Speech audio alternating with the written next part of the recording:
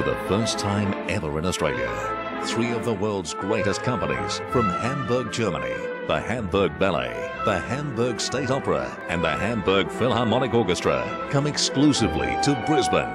Led by legendary choreographer John Neumeier, the magnificent Hamburg Ballet will perform two of their most celebrated works, Nijinsky and A Midsummer Night's Dream, two weeks only from August 23. Book now at Qpac.com.au.